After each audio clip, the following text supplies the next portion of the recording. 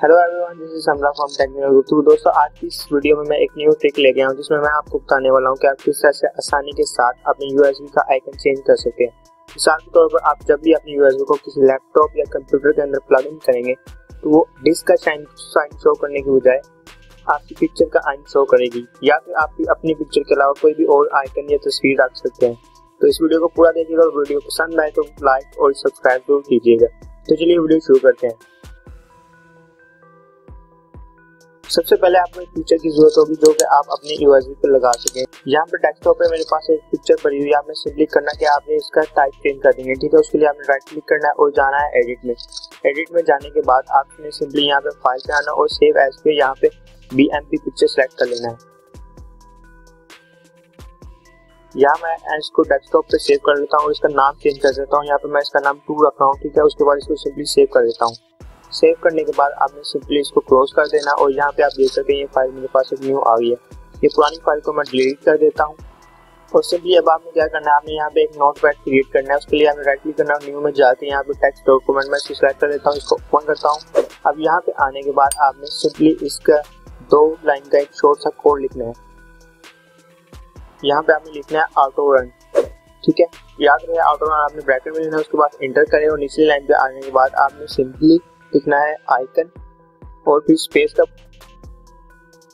उसके बाद इक्वल का निशान डालना फिर फिर स्पेस डालने के बाद आपने सिंपली अपने फ़ाइल का नाम लिखना है। यहाँ पे मैंने इसका नाम टू रखा था तो मैं सिंपली यहाँ पे टू लिखूँगा। उसके बाद डॉट और फिर आपने लिखना है फ़ाइल की जो टाइप होगी, वो लिखनी है। ठीक है, यहाँ पे टाइप सेलेक्ट चेक करने के लिए आपने इसको राइट क्लिक करना है और प्रॉपर्टीज़ में जाना है। प्रॉपर्टीज़ में जाने के बाद आप यहाँ पे देख सकते हैं ये बी फ़ाइल है, ठीक है। यहाँ पे मैं बी लिख देता हूँ। बीएमपी लिखने के बाद आपने सिंपली इसको फ़ाइल पे क्लिक करना है और सेव एज करना है। सेव एस करने के बाद मैं यहाँ पे इसको डेस्कटॉप पे सेव कर लेता हूँ। याद रखिए, आपने इसका नाम चेंज करना है। नाम चेंज करके आपने इसको लिख देना है। Autorun dot I N F ठीक है? और इसके बाद आपने इसका ये जो टाइप है, ये चेंज करके आपने इसको आई फाइव कर देना है, ठीक है? इसको मैं सेव कर देता हूँ। सेव करने के बाद आप देख सकते हैं, यहाँ पे मेरे पास एक फ़ाइल बन गई है ठीक है? इसको मैं क्लोज करता हूँ इसको भी पुरानी फ़ाइल को क्लिक कर देता हूँ। अब आपने क्या करना है? आपने अपनी यूएसबी प्लग इन करनी है। यहाँ पे मैं लैपटॉप में यूएसबी प्लग इन कर देता हूँ।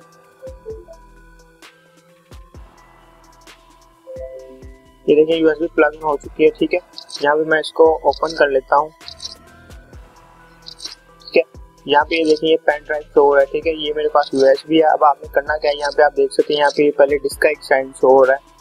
इसको आप चेंज करने के लिए मैं इसको ओपन करता हूँ।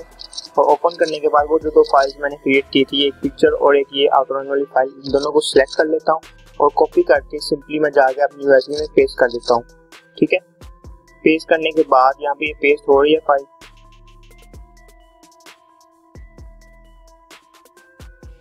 पेस्ट करने के बाद आपने सिंपली अपनी यूएसबी को उतार लेना है, ठीक है? यूएसबी जैसे मैंने उतारी है, उसके बाद फिर मैं इसको प्लग इन करता हूँ यूएसबी को।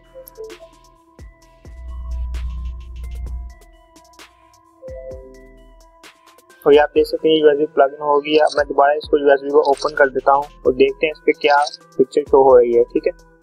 अब ये देख सकते हैं हमें वही यूएसबी है और इस पर यहाँ पे मेरी पिक्चर शो हो रही है। मैं इसको ओपन करता हूँ तो ये देखिए फ़ाइल भी वहाँ पे पड़ी है। अब आप याद रखिए, यहाँ पे आप जब तक ये फ़ाइल दोनों इसमें यूएसबी में नहीं, तभी तक ये आइकन शो होगा तो का ठीक है? तो आप यहाँ पे ऐसा भी कर सकते हैं, इन दोनों फाइल्स को हिडन कर ले ताकि कोई और बंदा आपकी फाइल्स रीड ना कर सके।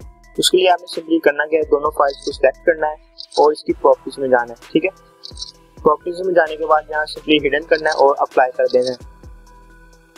और ओके कर देना है, ठीक है? अब देखिए वो फाइल्स दोनों हिडन हो चुकी हैं। अगर आप इन दोनों फ़ाइल को दोबारा शो करवाना चाहें तो सिंपली आपने करना क्या आपने यहाँ पे व्यू में आना है और यहाँ पे आगे आपने ये हिडन फ़ाइल पर क्लिक कर देना है, ठीक है? और ये देखिए दोनों फ़ाइल दोबारा से शो होना शुरू हो गई है, ठीक है? इस तरह से आप बहुत ही इजी से अपनी यूएसबी का आइकन चेंज करके अपनी पिक्चर रख सकते हैं, ठीक है? पिक्चर नहीं तो कोई और भी आइकन रख सकते हैं। ये छोटी सी ट्रिक थी, लेकिन बहुत स्मार्ट ट्रिक थी। उम्मीद करता हूँ आपको पसंद आई होगी। अगर आपके जेन में कोई भी क्वेश्चन तो आप नीचे कमेंट में मुझसे पूछ सकते हैं। इसके अलावा आप मुझे इंस्टाग्राम पे भी फॉलो करके वहाँ पे मैसेज कर सकते हैं। उसका लिंक आपको नीचे डिस्क्रिप्शन में मिल जाएगा। आज के लिए इतना ही, अल्लाह हाफिज़।